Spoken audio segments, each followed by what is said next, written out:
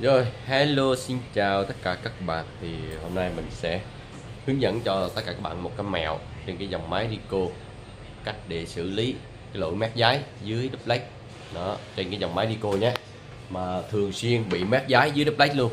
Thì à, các bạn cứ chạy à, đôi lúc là cứ bị giác giấy, Nhưng mà không biết nguyên nhân và cách để xử lý như thế nào. Thì hôm nay mình sẽ chỉ cho các bạn một cái mẹo để xử lý không bị mát giấy nữa nhưng mà không tốn tiền luôn.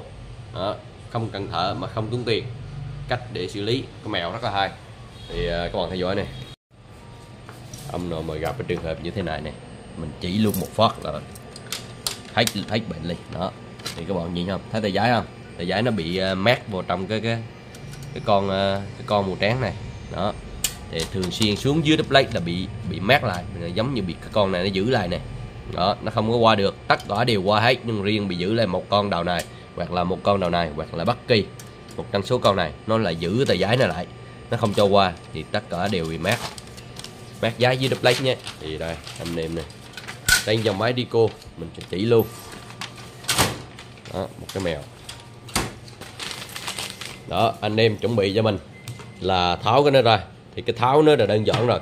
Mình có làm những cái video hướng dẫn anh em tháo và thay thế nó rồi. Thì anh em vào xem lại cái cách để tháo thôi. Đơn giản. Chuẩn bị cho mình một cây này và chuẩn bị cho mình một cái lưỡi vô lam này.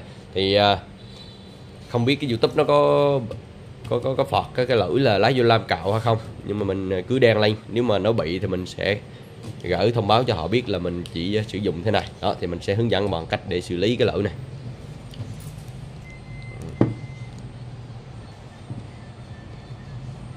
Rất là đơn giản các bạn nha. Đó.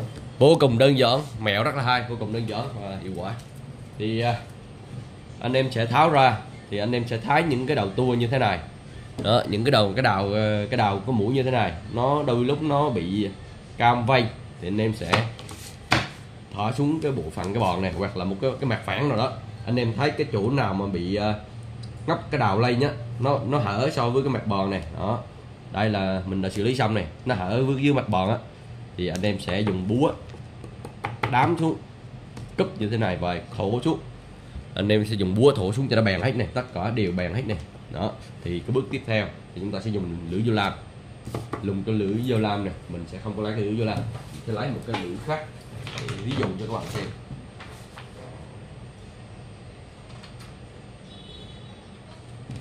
Vì nếu mà mình lấy cái lưỡi vô lam thì cái cái youtube nó sẽ dính cái cái cái, cái, cái, cái bạo lực đó thì tưởng, anh em cứ tưởng tượng cho mình cái này là cái lưỡi vô lam đi. Đó cho nó đó, mèo chỉ thì anh em cứ nghe. Đó lấy lưỡi vô lam chúng ta sẽ bóp cong và chúng ta mới đào cạo. Đó nè nè chúng ta sẽ cạo nè. Đó chúng ta sẽ cạo cạo liên tục. Cạo đến khi nào mà nó chúng ta rờ nó phản tất cả đều phản lên đều này đó chúng ta cứ vuốt. Đó, và tiếp tục hướng đầu hướng cạo phía trang phía dưới. Đó cho nó cam lại. Thì nó bèn. Cho nó bèn lại nhé. Đó cạo cho nó cao mà nó bèn lại nó không có còn cắn cái g nữa là được. Đó thì chúng ta sẽ cạo. Chúng ta sẽ cạo đều hết. Đó, sau khi cạo đều hết á chúng ta sẽ kiểm tra thêm lần nữa thử nó có đã, đã bèn chưa. Nó đã bèn trên cái mặt phẳng chưa? Tất cả đều bèn trên mặt phẳng. Thì đảm bảo anh em rằng anh em th- lắp vào. Thì trăm trăm nó không có bao giờ mát giá nữa. Nó chính xác cho anh em trăm trăm luôn. Đây là cái mèo để cho anh em đỡ tốn tiền này. Anh em không không cần mua. Thì nhiều cái nó bị nứt như thế này. Anh em nhìn thấy không? Tất cả đều bị nứt hết cái đồ riêng của hang bị nứt hết cho dù anh em có thay mới vào thì vài ngày hang cũng bị nứt trở lại. Nó nóng á nó giãn nở thì nó nứt thì chuyện bình thường, không có gì hết.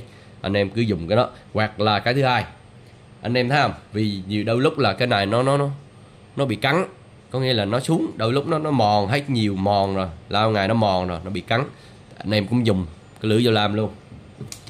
Cạo luôn cái đầu để cho mình, cạo nhẹ ra cho nó mỏng. Cỡ khoảng ờ, một ly thôi. Nói chung là mỏng, một ly đó, tất cả đều mỏng một ly đều hết. Đó anh em lắp vô. Khẳng định với anh em một cao trăm trăm là sẽ không còn mát giá dưới duplex nữa. Sẽ hết được cái bệnh như duplex anh em không cần mua cây mới luôn. Đó, đây là cách để tận dụng. Mình đã thử nghiệm. Rồi mình đã thử nghiệm rồi mình mới hướng dẫn cho anh em. Đó tất cả những cái cây này lúc đầu là mình thay thế hết. Vì uh, nó bị uh, bị mát giá liên tục như vậy nên mình đã thay thế hết. Nhưng sau khi mình phát hiện ra là vẫn còn tận dụng được và vẫn sử dụng được thì mình đã dùng lưỡi lam cạo hết tất cả và cuối cùng lắp vào chạy rất là ok. Bốn cái cây mới mình lá tháo ra là mình cắt. Đây là bốn cây mới mình cắt. Đó còn mấy cây cũ mình đã cho máy chạy hết. Đó tất cả đều không bị mát giấy dưới duplex lần nữa. Đây là nguyên nhân để xử lý những cái lỗi mát giấy dưới duplex này. Đây là một cây là tháo máy mình tháo máy đi là nó còn được cái cái cục 500 này. Trước khi bọn mua là nó không có cái cái cái cái, cái, cái, cái lãi 500 đó nữa đó, đây là cách để xử lý cái mèo trên cái dòng máy Dico cho tất cả các bạn này. Đó, anh em nào dùng Dico thì nhớ dùng cái mèo của mình. Đó, nhớ like, subscribe em hộ đây để có nhiều cái mèo mới cho anh em nhé. Rồi, hẹn gặp lại anh em ở những clip sau.